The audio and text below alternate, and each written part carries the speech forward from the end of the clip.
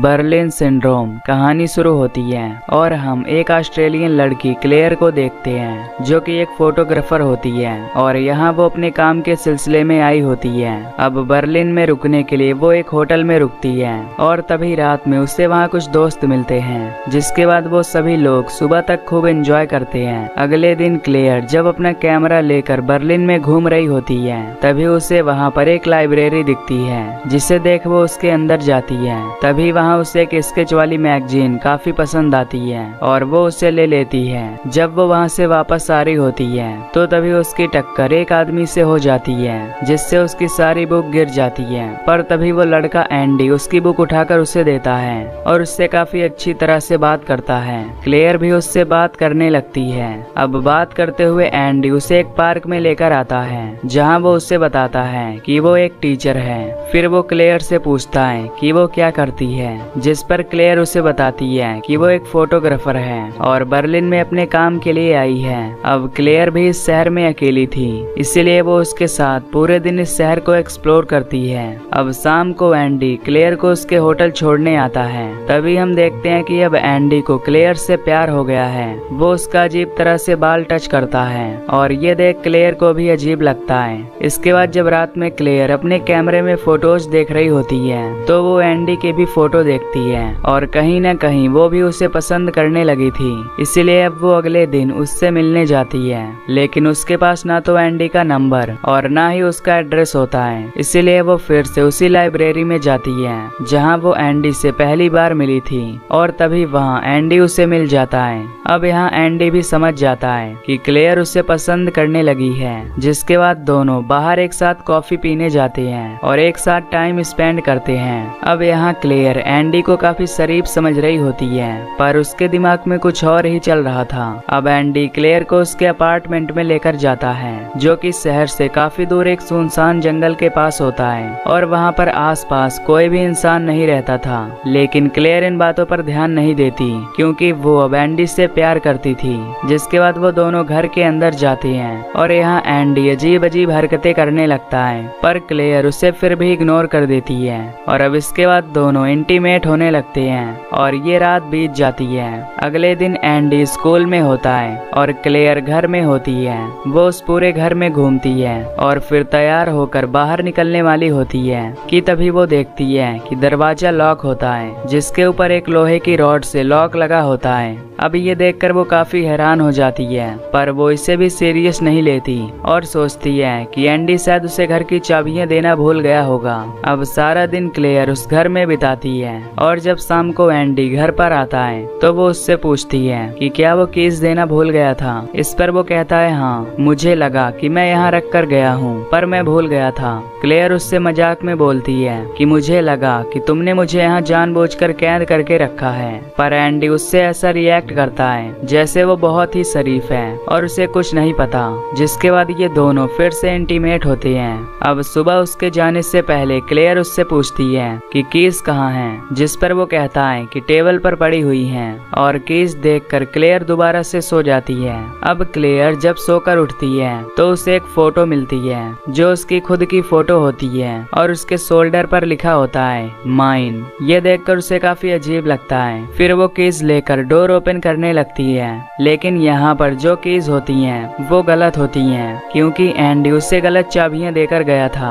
और अब क्लेयर समझ जाती है कि यहाँ पर कुछ न कुछ गड़बड़ है। क्योंकि वो उस डोर को नहीं खोल पा रही थी। उससे पता चल जाता है कि एंडी ने उसे यहाँ जानबूझकर बंद किया है। उसके बाद वो अपना फ़ोन चेक करती है, पर उसकी बैटरी लो होती है और जब वो अपना फ़ोन चार्ज में लगाती है तो देखती है कि उसके सिम कार्ड से गायब हो गए हैं। ये देखकर वो काफ़ी घबरा जाती है और उस खिड़की को तोड़ने की कोशिश करती है। पहला ग्लास तो टूट जाता है, पर उसके पीछे वाला ग्लास नहीं टूट पाता, जिससे क्लेयर समझ जाती है कि ये सब एंडी बहुत पहले से ही प्लानिंग कर रहा था और अब क्लेयर शाम होने का इंतज़ार करती है। जैसे ही एंडी दरवाज़ा खोलता है तो वो वहाँ से जाने की बात करती है। लेकिन एंडी फिर से दरवाज़ा बंद कर देता है और लॉक लगा देता है। अब एंडी उस घर के हालात को देखकर समझ जाता है कि क्लेयर को सब पता चल गया है। तभी क्लेयर उससे पूछती है कि ये सब क्या चल रहा है? एंडी कहता है कि तुमने ही तो कहा था कि तुम मेरे साथ सारी ज़िंदगी रहना चाहती हो। दरअसल एंडी ने इस बात को कुछ ज़्यादा ही सीरियस ले लिया था, जिससे क्लेयर को समझते देर नहीं लगती कि एंडी एक मेंटली डिस्टर्ब आदमी है। क्लेयर उससे काफ़ी लड़ती है और कहती है कि मुझे बाहर जाने दो, जिस पर एंडी उसे बहुत मारता है। अगले दिन जब वो घर से बाहर जाने वाला होता है तो वो क्लेयर को बेड से बाँध देता है और उसके नीचे पॉलीथीन बिछा देता है। क्योंकि वो उसे दो दिन के लिए यहाँ बाँध कर जाने वाला था, और टॉयलेट के लिए उसने ये प्लास्टिक बिछाई होती है। अब एंडी अपने फादर से मिलने जाता है, जहाँ वो उसे अपनी नई गर्लफ्रेंड के बारे में बताता है। यहाँ पर हमें पता चलता है कि एंडी की पहले भी एक गर्लफ्रेंड थी, लेकिन वो कहाँ गई किसी को पता नहीं। जब वो शाम को घर आता है तो क्लेयर को देखता है, जिसकी हालत बहुत ही खराब होती है।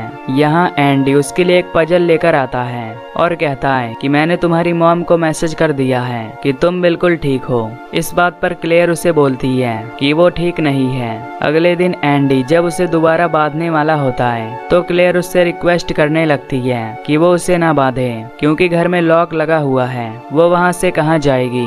जिसकी बात मानकर अब एंडी उसे नहीं बांधता। और जब एंडी वहाँ से चला जाता है तो क्लेयर उस घर में बाहर जाने का रास्ता ढूँढने लगती है। तभी उसे सोफे के नीचे एक स्क्रू ड्राइवर मिलता है, जिसे वो अपने पास रख लेती है। है। जब शाम को एंडी घर पर आता है तो क्लेयर उसके सामने ऐसा रिएक्ट करती है। कि जैसे वो उसके साथ बहुत ही ज़्यादा खुश है, वो उस पजल को भी सॉल्व कर रही होती है, तभी वो एंडी की मदद मांगती है। जब एंडी उसे सॉल्व करने लगता है तो वो उसके हाथ में वो स्क्रू ड्राइवर दे मारती है। फिर वो उन कीज से रूम के बाहर तो चली जाती है, लेकिन अपार्टमेंट के बाहर वाला डोर भी लॉक होता है, जिससे वो उसे नहीं खोल पाती, और एंडी उसके पीछे आता है, और गुस्से में उसकी उंगलियाँ तोड़ देता है, जिससे क्लेयर वहीं पर बेहोश हो जाती है, और एंडी उसे उठाकर घर के अंदर लाता है। वो उसकी फिंगर पर पट्टी बांधता है और यहाँ पर हमें पता चलता है कि एंडी हमेशा क्लेयर की फ़ोटोज़ भी लेता रहता था और काफ़ी अजीब हरकतें करता रहता था। फिर हम एंडी को उसके स्कूल में देखते हैं, जहाँ पर वो अपनी एक स्टूडेंट को बहुत ही अजीब तरह से देख रहा होता है। मानो कि वो उसका अगला शिकार होने वाली थी। अब क्लेयर उस लॉक को खोलने की बहुत कोशिश करती है, पर वो उस लॉक को खोल नहीं पाती। अब इसी तरह क्लेयर को इस घर में कई दिन बीत जाती हैं। अब जब एंडी घर आता है तो वो उसके नाखूनों को काटता है, क्योंकि वो काफ़ी बड़े हो चुके थे। फिर वो उसके हाथ की पट्टी को भी निकाल देता है, और उसे नहलाता भी है। अगले दिन फ्रैंका एंडी के घर आती है, जो कि वही लड़की है, जिसे एंडी स्कूल में अजीब नज़रों से देख रहा था। और यहाँ पर एंडी क्लेयर से चुप रहने को बोलता है। लेकिन फ्रैंका क्लेयर को देख लेती है और उसे सिड्यूस करने की कोशिश करती है। लेकिन एंडी उसके जाल में नहीं फंसता और उसे मना कर देता है। फ्रैंका गुस्से में वहाँ से चली जाती है और अब क्लेयर भी समझ जाती है कि एंडी एक मेंटली पेशेंट है और क्लेयर को बिल्कुल भी अंदाज़ा नहीं होता कि आगे एंडी उसके साथ क्या करेगा। उससे बात टब में एक लड़की के बाल भी मिलते हैं और इस घर में एक रूम भी था जो कि हमेशा लॉक रहता था। बस एंडी उसके अंदर अकेला जाता था और उसके बाद वो रूम को लॉक कर देता था। ऐसे ही कई महीने बीत जाते हैं और क्लेयर सोचती है कि वो यहाँ से कभी बाहर नहीं निकल पाएगी और आखिर में वो हार मान जाती है। अब विंटर का सीज़न आ जाता है और एंडी उसे बिना इलेक्ट्रिसिटी के उसी अपार्टमेंट में छोड़ देता है, जिससे क्लेयर की हालत काफ़ी ज़्यादा खराब हो जाती है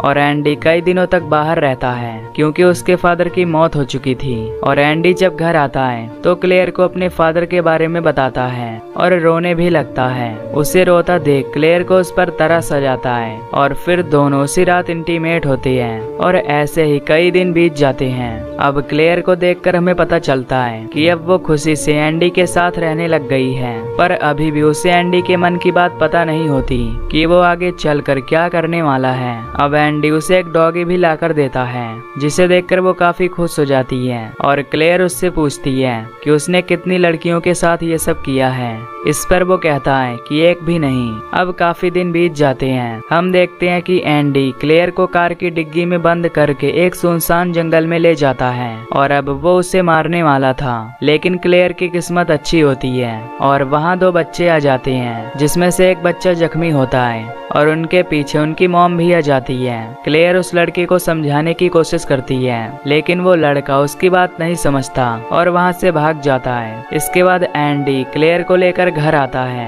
अब एक दिन एंडी जब घर पर नहीं था तो क्लेयर उसी रूम को खोलने की कोशिश करती है और वो उसमें एंटर भी हो जाती है। तभी वहाँ उसे एक फ़ोटो एल्बम मिलती है, जिसमें उसकी काफ़ी सारी न्यूड फ़ोटो होती हैं और एक फैमिली फ़ोटो भी होती है। तभी उसमें कुछ लड़कियों की फ़ोटोज़ भी उसे दिखती हैं, जिससे वो समझ जाती है कि एंडी ने बहुत सारी लड़कियों के साथ ये सब किया है और लास्ट में उन्हें मार दिया है। क्लेयर ये भी समझ जाती है कि एंडी उसे भी मार देगा। क्लेयर यहाँ से निकलने की बहुत कोशिश करती है, पर यहाँ से निकलना इतना आसान भी नहीं था। एक रात जब क्लेयर अपने अपार्टमेंट पर अकेली होती है तो वो वहाँ पर एक आदमी को देखती है, जो कि यहाँ पर चेकिंग करने के लिए आया था। वो जब अपनी लाइट फ्लैश करता है तो क्लेयर अपना हाथ हिलाकर उससे मदद मांगती है, जिससे वो आदमी उसे देख लेता है, और उसकी मदद करने के लिए गेट खोलने वाला होता है, कि तभी एंडी वहाँ पर आ जाता है, और उस आदमी को जान से मार डालता है। अब क्लेयर ये देख लेती है वो काफ़ी घबरा जाती है।